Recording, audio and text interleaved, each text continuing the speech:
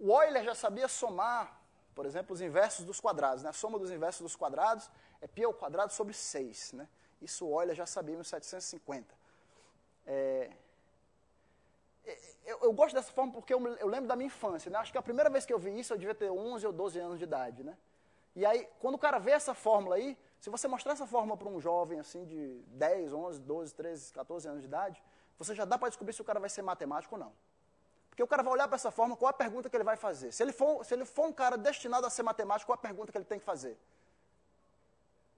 O que, é que você acha? Por quê?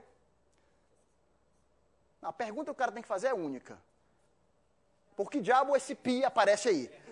Essa é a pergunta que o cara tem que fazer. Se o cara perguntar isso, o cara tem chance de ser matemático. Se o cara disser qualquer outra coisa, o cara não vai ser matemático. O cara tem que perguntar porque é que o pi aparece. Tem que chamar a atenção dele.